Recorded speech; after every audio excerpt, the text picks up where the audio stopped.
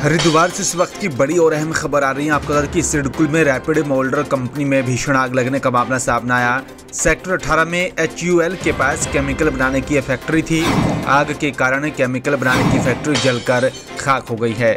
आग लगने के कारणों का अभी तक पता नहीं चल पाया है।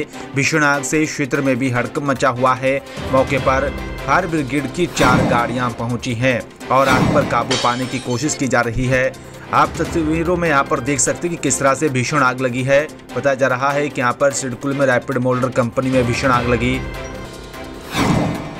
सेक्टर 18 में एचयूएल के पास केमिकल बनाने की यह फैक्ट्री है, जिसमें यहाँ पर यह भीषण आग लगी है।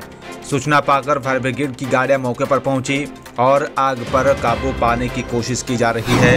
लेकिन अभी तक इस बात का खुलासा नहीं हो पाया कि आखिरकार आग किन कारणों से यहाँ पर लगी है। हरिद्वार से इस वक्त की बड़ी और अहम खबर आ रही है। आपको बता दें कि सिडकुल में रैपिड मोल्डर कंपनी में भीषण आग लगने का मामला सामने आया। सेक्टर 18 में एचयूएल के पास केमिकल बनाने की फैक्ट्री थी।